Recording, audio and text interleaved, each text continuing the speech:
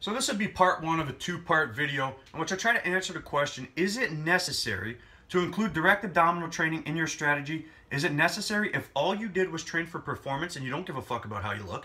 And is it necessary if all you did was train for aesthetics and you don't give a fuck about how your body performs? So the short answer is yes. If you want to get the best results and maximal return on investment of time and effort, then the answer is yes. So in this video, I'll explain why that is as it relates to performance, and in the next video, I'll explain why that is as it relates to aesthetics.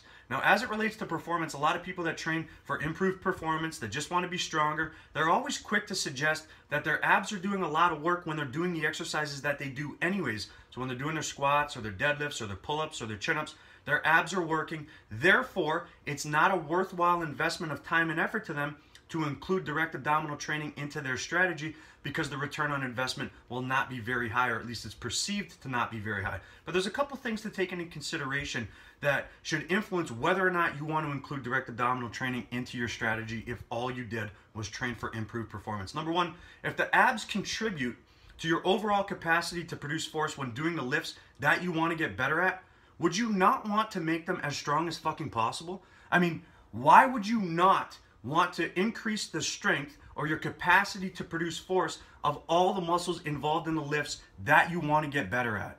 Would it make you worse? Would it hinder performance? The answer is likely no. Is it guaranteed to make you better? The answer is no, it is not guaranteed. But having every single muscle be stronger, have a greater capacity to produce force, will not hinder or hurt performance. So why wouldn't you want to include direct abdominal training in your strategy?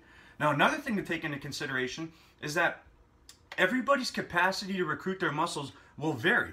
Some people will have a higher capacity to recruit their muscles, others will have a lower, and this will vary from person to person and muscle to muscle. So if your capacity to recruit your abs is low or minimal, they will not receive adequate stimulation when you're doing the lifts that the abs are supposed to be contributing to in the first place. So when you say, yeah, my abs are working when I do my squats or my deadlifts or my pull-ups and my chin-ups, well, to what degree? Are they receiving adequate stimulation? Because if your capacity to recruit them is low, then no, they're not. And if they're not, but other muscles are, what is going to happen? They're going to become a weak link in the chain and they will ultimately become a limiting factor and it will prevent you from maximizing your potential as it relates to the lifts that you want to get better at. So you're going to want to find ways to increase your capacity to recruit those muscles and the way you do that is by fucking training them directly.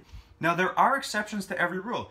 There are some people who don't need to train abs and they will excel at all the lifts that they want to do. But you should not be basing what you do off of the exceptions to the rule. If you want to maximize performance, you want to strengthen every single muscle that is involved in the lift to the best of your ability. And even if you didn't, you got to take into consideration that if your capacity to recruit the muscles that should be working is low or minimal, they will not receive adequate stimulation. So the answer to the question is it necessary? Yes. If you train for performance and you want to maximize your potential, then it is necessary.